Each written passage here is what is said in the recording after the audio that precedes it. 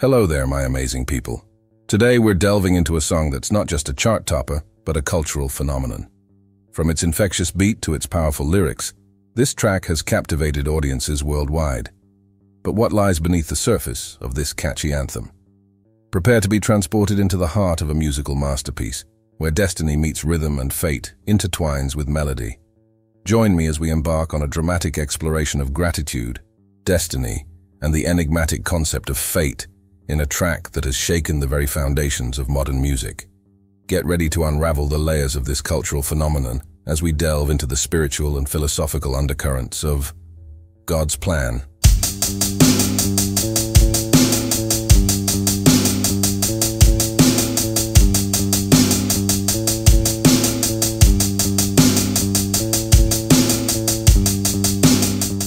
God's Plan by Drake is more than just a chart-topping hit. It's a reflection of his journey in the music industry, which he attributes to a divine plan.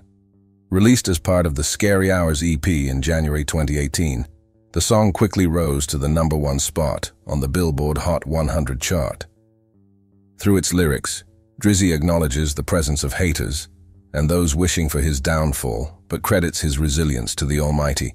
The song conveys a message of gratitude and resilience despite the struggles faced, emphasizing the importance of staying positive in the face of adversity. He shares his story of overcoming obstacles and achieving success, expressing thanks to God, loved ones and family for their support. Ultimately, it serves as a reminder of the blessings received and the strength gained through hardships, inspiring listeners to embrace positivity and appreciate the journey toward prosperity.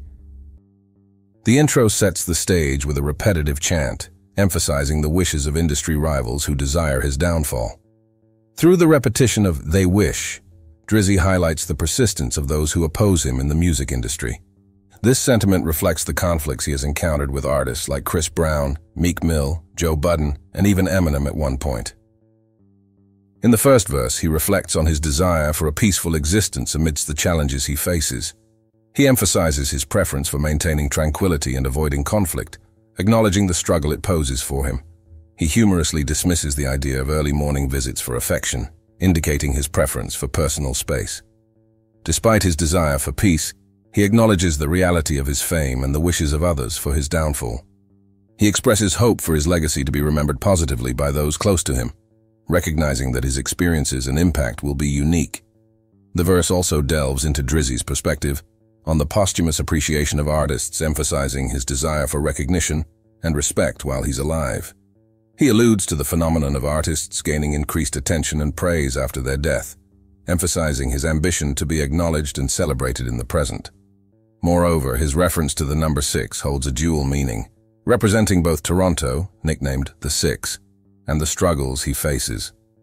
The verse concludes with the potential role of his OVO crew members in telling his story. His self-deification as the sixth god adds a layer to his desire for a unique and impactful legacy. In the chorus, he acknowledges the divine plan that he believes governs his life. This isn't the first time he has referenced a higher power guiding his path, as seen in previous tracks like Jungle and Sneakin'. His mention of God's plan reflects his belief in a predetermined destiny, influenced by his upbringing.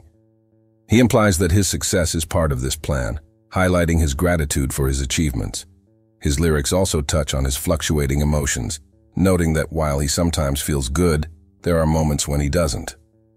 This juxtaposition of feelings is characteristic of Drake's music, as he often explores a wide range of emotions in his songs. Additionally, he references his upbringing in Toronto by mentioning Weston Road, a street in the area where he grew up. This geographical reference adds a personal touch to the song, connecting it to his roots and experiences.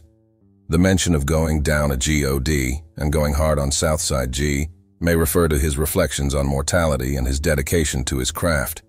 The reference to Southside could allude to various meanings, including Memphis, Atlanta producer Southside, or the Scarborough neighborhood of Galloway. Similarly, Drizzy's commitment to ensuring the North Side eat may symbolize his support for his hometown of Toronto, as well as his efforts to provide for those around him. Overall, the chorus captures his complex emotions, his reflections on his journey, and his commitment to his roots and community. In the post-chorus, he reflects on the negativity and ill intentions directed towards him by his enemies. Despite their wishes for his downfall, he asserts that God's plan will prevail, thwarting their efforts to bring him down. The repetition of bad things emphasizes the magnitude of the negativity directed towards him, but he remains resilient in the face of adversity. The post-chorus serves as a reminder of the challenges he faces, but also highlights his faith in a higher power and his determination to overcome obstacles. In verse 2, his candid admission in God's plan resonates with universal sentiments about the irreplaceable comfort of home and the love for family. The inclusion of 50 Dub, commemorating his late friend, adds a poignant layer to the song, showcasing the impact of personal loss on his life and art. Expressing gratitude to his collaborators, 40 and Oliver North, Drizzy emphasizes the crucial role they've played in shaping his musical journey. The mention of the O2, transformed into the O3, reflects his significant influence and popularity, turning ordinary venues into iconic spaces. The connection to the Hells Angels, though controversial, underscores the complexity of his relationships and the diverse influences that contribute to his artistic identity. The O3 transformation, coupled with the shout-outs to 40 and Oliver North, illustrates how his impact extends beyond music, transforming spaces and fostering enduring partnerships. Moreover, the reference to his bed takes on a deeper meaning when considering the potential connection to his son Adonis, whose other name is Mahbed. The complexity of Drizzy's life, with its highs and lows, is beautifully encapsulated in these verses, providing listeners with a glimpse into the artist's genuine reflections and the multifaceted nature of his journey. The music video offers a powerful visual narrative that complements the song's themes of resilience and gratitude. Through spontaneous acts of generosity, Drizzy transforms the Miami community, spreading joy and hope to those in need.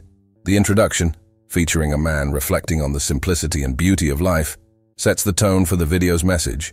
True happiness transcends material wealth. Drizzy's interactions with community members highlight the genuine connections he fosters, emphasizing his desire to uplift others and share in their joys. Rather than portraying himself as a distant figure of charity, he presents himself as a relatable and approachable individual, eager to connect with people on a personal level. The video's candid depiction of everyday life in Miami reinforces the notion that happiness can be found in the smallest moments and gestures of kindness. By showcasing the smiles and gratitude of those he helps, he celebrates the resilience and spirit of the community, affirming that despite life's challenges, there is always room for joy and generosity. Overall, the video serves as a heartwarming reminder of the power of compassion and the transformative impact of simple acts of kindness.